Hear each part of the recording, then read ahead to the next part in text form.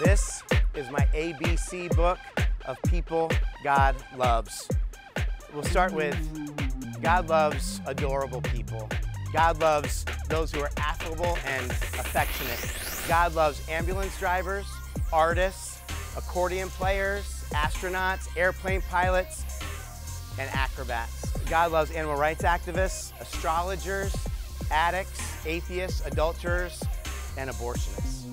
He, he loves boys and boy band members. He loves the bedraggled, the beat up, and the burnout. He loves the bullied and the bullies. God loves the brave, the bored, and the boorish, the bitter, the busy, and the bossy. God loves all the blue men in the blue man group. God loves crystal meth junkies, drag queens, and Elvis impersonators. He loves the faithful and the faithless, the fearful and the fearless. God loves people from Fiji, Finland, and France. He loves people who fight for their freedom, for their friends, and for their right to party. God loves people who sound like Fat Albert. Hey, hey, hey. God loves greedy Guatemalan gynecologists. God loves homosexuals, homophobes, and all the homo sapiens in between.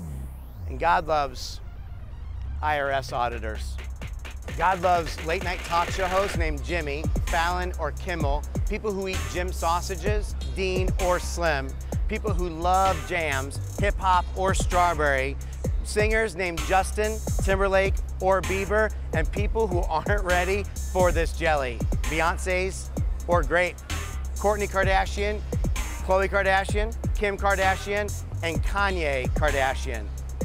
Please don't tell them that I said that. God loves people who are ludicrous, and God loves Ludacris. Hey DJ, play that back. And God loves Ludacris. God loves ladies, and God loves Lady Gaga. People who are malicious, meticulous, mischievous, and mysterious. People who collect marbles, and people who have lost their marbles. And Miley Cyrus. God loves ninjas, nudists, and nose pickers. Obese obituary writers pimps, pornographers, and even pedophiles. God loves the Queen of England, members of the band Queen, and Queen Latifah, the people of Rwanda, and the rebels who committed genocide against them. God loves strippers and stilettos on the Las Vegas Strip. And it's not unusual that God loves Tom Jones.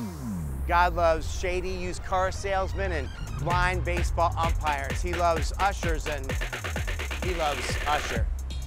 God loves vegans in Vietnam, vegetarians in Virginia Beach, and people who eat lots of vanilla bean ice cream in Las Vegas. The great I am loves will.i.am. He loves waitresses who work at Waffle Houses, weirdos who get lots of wet willies, and Weight Watchers who hide whatchamacallits in their windbreakers. And God loves x-ray technicians. God loves you. And God loves zoologists who are preparing for the zombie apocalypse. God is for the rest of us. And I'm out.